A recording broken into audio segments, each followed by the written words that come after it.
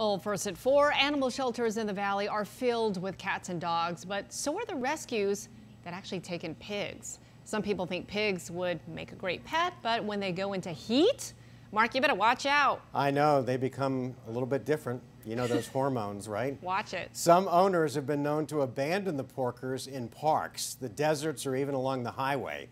We caught up with a specialty pig rescue that's urging people to spay and neuter their piggies.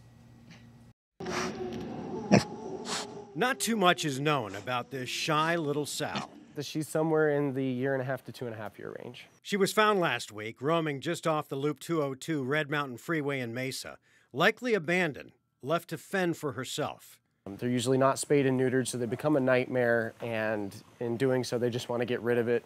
She's safe now at the Better Piggies Rescue in Phoenix. Most of the 124 little piggies that call this sanctuary home arrived without being spayed or neutered. Like teenagers, they can be an unpleasant experience. The girls are sassy and the boys are wild. They can be scary and even bite sometimes. Dwight Dixon with the rescue says if you're going to own a pig, get them fixed. It's going to resolve a majority of any behavioral problems you're going to incur. Um, it makes correcting behaviors you don't like that much easier. You actually get to enjoy the interaction you have with your pet versus having to battle back and forth with them.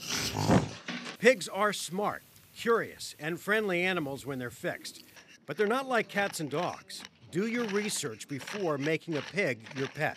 Contact a rescue, go see some pigs before you actually try to move forward with any decision. This is an animal that needs space to thrive. They need attention. As for this unnamed little girl, she'll get spayed and hopefully adopted by a loving family. If not, she'll always have a safe place at the Better Piggies Rescue.